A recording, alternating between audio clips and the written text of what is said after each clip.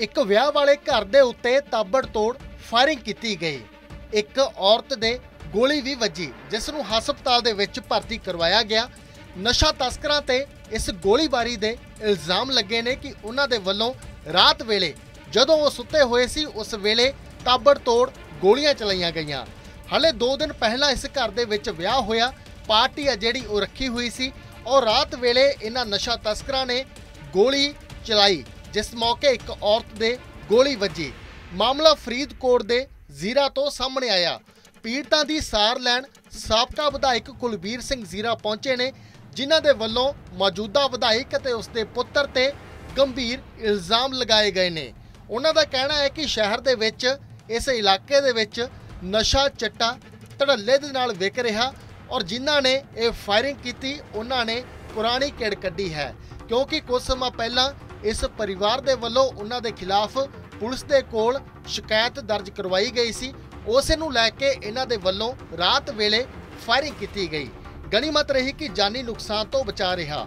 ਮੌਕੇ ਦੀ ਵੀਡੀਓ ਵੀ ਵਾਇਰਲ ਹੋਈ, ਜਿਸ ਦੇ ਵਿੱਚ ਖੂਨ ਹੀ ਖੂਨ ਨਜ਼ਰ ਆ ਰਿਹਾ ਔਰ ਪੀੜਤ ਔਰਤ ਦਾ ਇਲਾਜ ਆ ਜਿਹੜਾ, ਉਹ ਕੀਤਾ ਜਾ ਰਿਹਾ।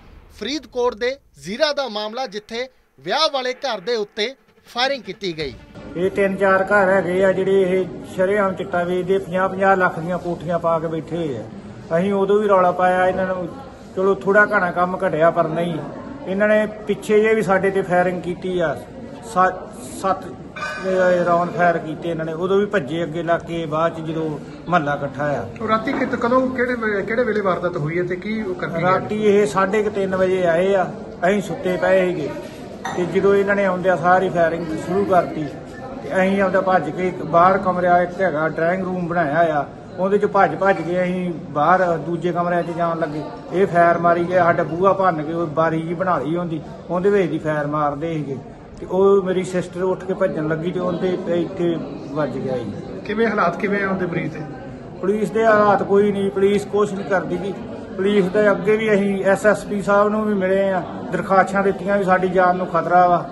ਉਦੋਂ ਨਹੀਂ ਇਹਨਾਂ ਨੇ ਕੋਈ ਐਸਪੀਡੀ ਨੂੰ ਵੀ ਦੱਸਿਆ ਤੇ ਪੁਲਿਸ ਨੇ ਹੁਣ ਤੱਕ ਕੋਈ ਕਾਰਵਾਈ ਕੀਤੀ ਹੈ ਕਿ ਨਹੀਂ? ਕੋਈ ਨਹੀਂ ਕੀਤੀ।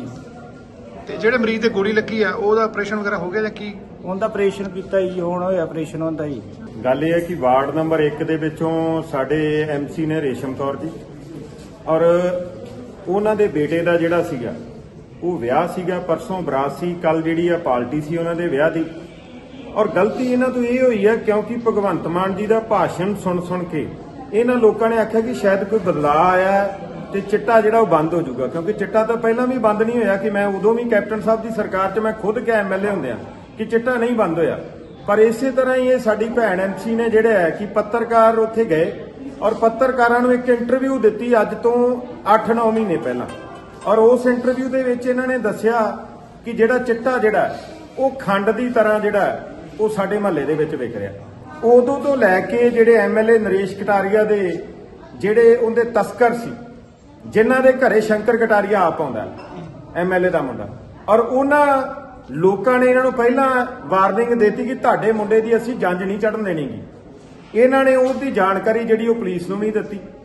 ਔਰ ਉਸ ਤੋਂ ਬਾਅਦ ਪਾਰਟੀ ਤੋਂ ਬਾਅਦ ਜੋ ਕੁਝ ਹੋਇਆ ਕਿ ਰਾਤੀ 3 ਵਜੇ ਇਹ ਸਾਰੇ ਜੀ ਆਪੋ ਆਪਣੇ ਘਰੇ ਜਿਹੜਾ ਕਿ ਵਿਆਹ ਦੀ ਪਾਰਟੀ ਖਤਮ ਹੋਣ ਤੋਂ ਬਾਅਦ ਇਹ ਆਪਦੇ ਘਰ ਦੇ ਵਿੱਚ ਆਰਾਮ ਨਾਲ ਸੁੱਤੇ ਪਏ ਸੀ, ਉਹ ਰਾਤੀ ਆਏ ਔਰ ਉਹਨਾਂ ਨੇ ਆਣ ਕੇ ਤਾਬੜ ਤੋੜ ਜਿਹੜੀਆਂ ਗੋਲੀਆਂ ਇਹਨਾਂ ਤੇ ਚਲਾਈਆਂ ਔਰ ਇਹਨਾਂ ਨੇ ਆਪਦੀ ਜਿਹੜੀ ਜਾਨ ਆ, ਉਹ ਜਿਹੜੀ ਪ੍ਰਮਾਤਮਾ ਲਈ ਬਚੀ ਕਿਉਂਕਿ ਇਹਨਾਂ ਦੇ, ਉਹਨਾਂ ਨੇ ਮਾਰ ਦੇਣ ਦੀ ਨੀਅਤ ਦੇ ਨਾਲ ਜਿਹੜੀ ਆ, ਉਹ ਫਾਇਰਿੰਗ ਕੀਤੀ ਔਰ ਜਿਹੜੀ ਉਹ ਗੋਲੀ ਆ, ਉਹ ਜਿਹੜੀ ਮੁੰਡੇ ਦੀ ਭੂਆ ਹੈ, ਅਮਰਜੀਤ ਕੌਰ, ਜੋ ਕਿ ਰੱਤੇ ਖੇੜੇ ਤੋਂ ਆ।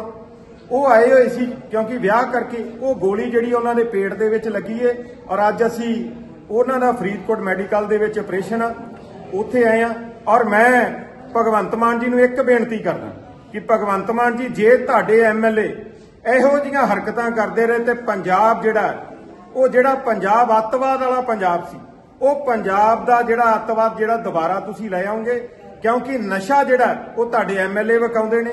ਨਸ਼ਾ ਜਿਹੜਾ ਹੈ, ਉਹ ਐਮਐਲਏ ਦੀ ਸ਼ਹਿ ਤੋਂ ਬਿਨਾਂ ਨਹੀਂ ਵਿਕਦਾ ਔਰ ਮੈਂ ਉਦੋਂ ਵੀ ਆਪਦੀ ਸਰਕਾਰ 'ਚ ਵੀ ਇਹ ਕਹਿੰਦਾ ਰਿਹਾ ਮੁੱਖ ਮੰਤਰੀ ਆਪਦੇ ਨੂੰ ਕੈਪਟਨ ਅਮਰਿੰਦਰ ਸਿੰਘ ਨੂੰ ਕਿ ਨਸ਼ਾ ਜਿਹੜਾ ਪੁਲਿਸ ਵਿਕਾਉਂਦੀ ਏ ਅੱਜ ਇਹਨਾਂ ਦਾ ਪਰਿਵਾਰ ਇੱਥੇ ਦਾਖਲ ਆ।